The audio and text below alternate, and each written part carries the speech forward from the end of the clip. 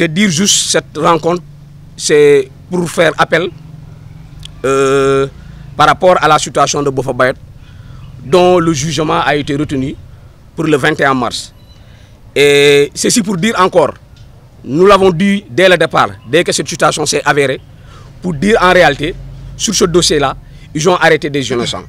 Et vraiment, nous osons croire qu'au sorti du 21 février, que ces dernières-là puissent vraiment regagner leur famille conjugale. Qu'en réalité, ils ont arrêté des innocents. Ces gens-là étaient cueillis chez eux.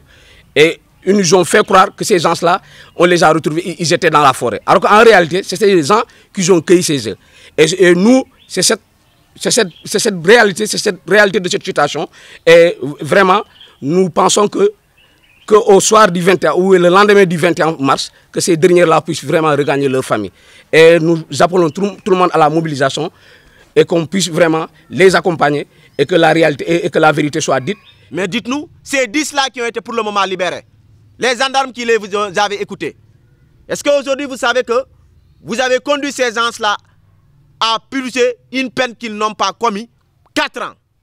L'État du Sénégal ne les a jamais assistés. Au contraire, Omar Ampouy Badian a vu son salaire suspendu, René Tapren a vu aussi son salaire suspendu. C'est comme si vous voulez maltraiter, c'est comme si vous voulez que les familles se dispersent, une dislocation des familles. Et vous l'avez réussi. Les 13 détenus qui sont en prison n'ont pas signé encore pour le moment l'acte d'identification. Nous, nous ignorons les règles les plus élémentaires du droit, mais on se demande, est-ce que si cet acte-là n'est pas signé, est-ce que le procès aura lieu? On le saurait le dire. Mais nous ne voulons pas d'un procès qui sera repoussé. 4 ans de prison, c'est trop. Et nous demandons pour ce jour-là la mobilisation de tous ceux qui sont là pour lutter contre les injustices. Nous ne parlons pas tout simplement des familles, non, ou des proches, non.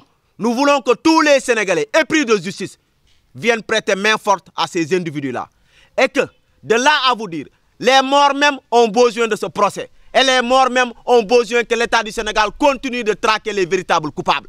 Donc à cela, nous demandons une mobilisation exceptionnelle. Parce qu'une mobilisation exceptionnelle, c'est pour mettre à l'abri toute personne qui se trouve en Casamance. Parce que ce qui est arrivé à ces détenus-là pouvait arriver à n'importe qui ici. Il suffit juste que vous habitiez en Casamance, que vous soyez d'une ethnie ou d'une autre, on vous taxe de rebelle et les gens disent que c'est vrai. Il faut qu'on arrête. On est dans un pays civilisé qui marche avec des lois. Nous sommes des citoyens sénégalais. Nous sommes nés au Sénégal, nous avons grandi au Sénégal. Personne n'est plus sénégalais que nous qui habitons la Casamance.